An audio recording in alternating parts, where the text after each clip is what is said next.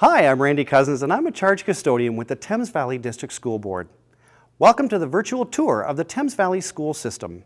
As charge custodian, I'm responsible for keeping schools looking their best, but that's not all. Custodians play a part in helping make Thames Valley the best board in Ontario.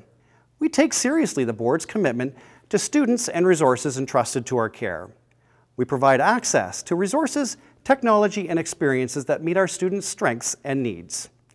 While all of our schools are committed to academic excellence, our high schools also provide a variety of programs to help students prepare for good jobs in today's economy.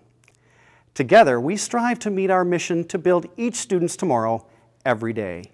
Indeed, it is at the heart of everything we do in Thames Valley.